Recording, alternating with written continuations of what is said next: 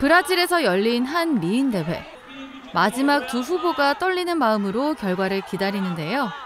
대망의 우승자가 호명되는 순간 갑자기 단성 위에 올라온 남성이 왕관을 낚아채더니 바닥에 던져 버립니다. 아쉽게 우승하지 못한 후보의 남자친구였는데요. 그야말로 진상이 따로 없는 남성의 행동에 대회 측은 법적 대응을 예고했습니다.